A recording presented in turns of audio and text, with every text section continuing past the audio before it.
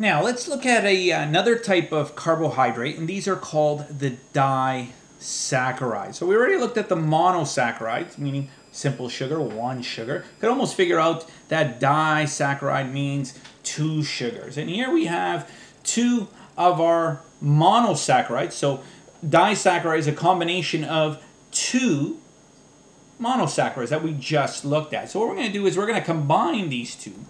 We're going to combine glucose, one monosaccharide, with fructose, another monosaccharide. And when we put these two together, these are going to form the following disaccharide. And it will form what we call a sucrose. Now, with the um, the two, so I've already drawn here our glucose molecule that we just looked at, and here is our fructose molecule. Now be careful of the shape here. We have a hexagonal shape. Here we've got a pentagon shape, but we still have six carbon sugars. As we said here each point, one, two, three, four points within our shape, our pentagon here, uh, carbons, but we've got our four, fifth carbon over here, our sixth carbon over here. Still total of six carbon monosaccharides. So, but now, when we put together, when we combine um, two monosaccharides together, one of the great properties of, of monosaccharides is the fact, and disaccharides for that matter, is the fact that they are considered soluble in water right? They're soluble in water because of these OHs, right? These OH functional groups, these are called hydroxyl groups,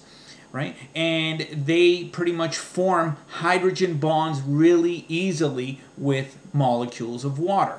But now, when they come together, it's not the formation of this hydrogen bond that actually causes these two uh, monosaccharides to join together to form our disaccharide it is actually an actual reaction.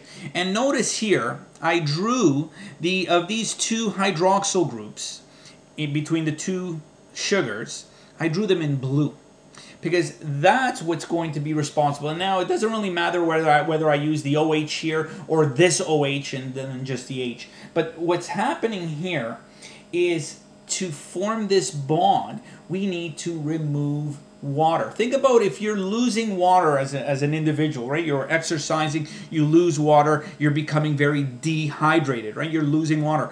And the reaction that actually occurs here is called also a dehydration reaction because we are forming this bond based on removing of water. So what we're going to do is we're going to remove this water this uh, the OH functional group on one sugar and the H of the other. So what this what's going to happen when we remove them. So I'm going to erase them. And now by erasing them, a bond is becomes available.